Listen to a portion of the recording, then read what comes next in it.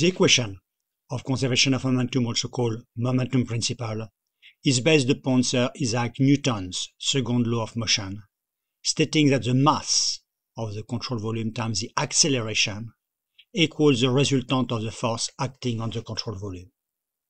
The momentum principle is shown here, in which m, big M, is the mass of the control volume and v is the velocity. Importantly, the momentum equation is a vector equation. It may be applied in the x, y, and z direction of a Cartesian system of coordinates. For students, the direction along which you choose to apply the equation of conservation of momentum is very important when it is developed. The forces acting on the control volume may include volume forces, such as the gravity force, pressure forces, reaction force, viscous force, also called drag force or friction force. Let us consider a simple application, a vertical sluice gate installed in a horizontal rectangular prismatic channel and partially opened, as sketched here. Examples of prototype sluice gate are shown here in Pingtung County, Taiwan, on another series of vertical sluice gates, this time in Strasbourg, France. Before applying the momentum principle, let us list the forces acting on the control volume of water.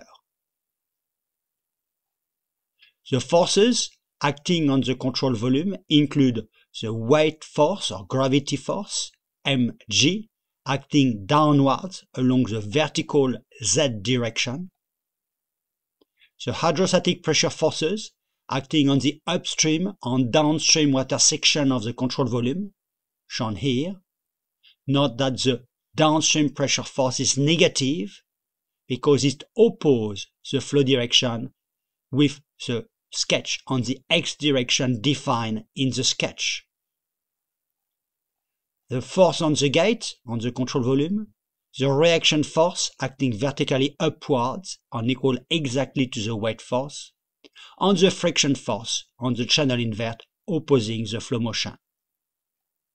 For completeness, two further forces are not sketched, that is, the pressure forces acting on the left and right side walls of the channel, along the direction perpendicular to the xz plane.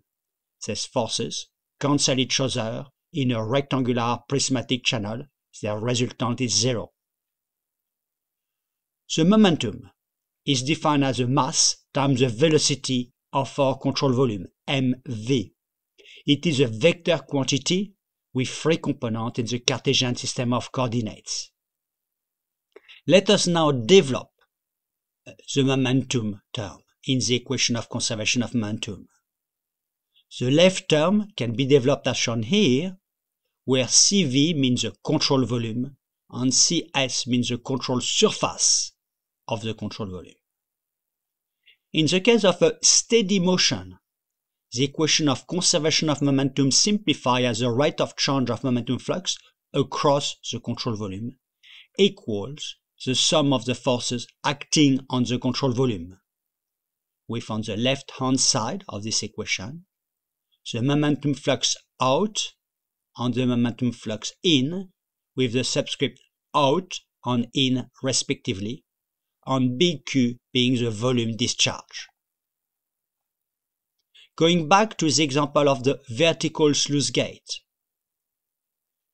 the application of the momentum principle in the x direction gives this expression, with the rate of change of momentum flux equals the upstream hydrostatic pressure forces minus the downstream hydrostatic pressure forces, minus the force of the gate on the fluid, minus the friction force.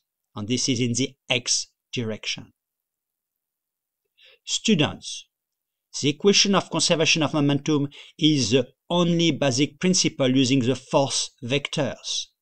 Thus, in an exercise or an examination question involving the calculation of hydrodynamic forces, we would use the momentum principle.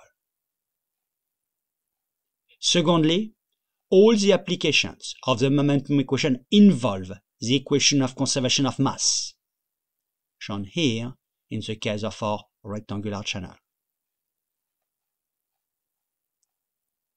The equation of conservation of momentum is a fundamental principle in fluid mechanics, including its application on use in physical and numerical modeling of fluid flow. This is further discussed in a number of relevant YouTube video movie in the same channel.